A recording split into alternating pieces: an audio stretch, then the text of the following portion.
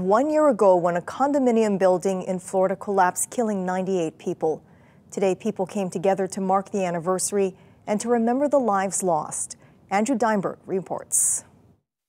This morning marks one year since the tragic condo collapse in Surfside, Florida. And overnight, where the 12 story Champlain Towers South once stood, a vigil held for the 98 souls lost that night. It's left a lasting trauma for the victims' families and loved ones. We're still struggling. I'm still having nightmares. Pablo Rodriguez lost his mother and grandmother. His family still coping with an enormity of grief, his young son growing up and marking milestones like birthdays without them. He's still sad. He talks about them often. Gonzalo and Maria Torres fell in love in the 1960s. Cuban immigrants who owned and operated a local hotel, they called the Champlain Towers home for nearly 40 years, not knowing it's where they'd spend their final moments beneath the rubble.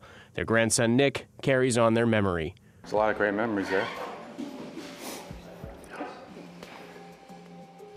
And still, there are stories of heroism from that day the first responders and the relentless effort to find survivors. 15 year old Jonah was pulled from the debris pile, badly wounded, but alive. As he started to heal in the following months, support flooded in. Jonah meeting the people who saved him, even throwing out the first pitch at a Marlins game. But the emotional scars linger. Every time the thunder goes, for him, it's the building collapsing and now some financial relief for the family still reeling from the devastating loss. This morning, one year after the tragedy, a judge has finalized a $1.2 billion settlement for the families, calling it remarkable.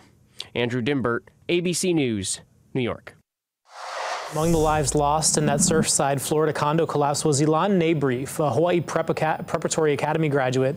Naibryf graduated from the Big Island School back in 2018 and had attended the University of Chicago and was working towards a degree in engineering and physics. His parents say their son and his girlfriend were in, in Florida for a friend's funeral. Nabrief was 21 years old.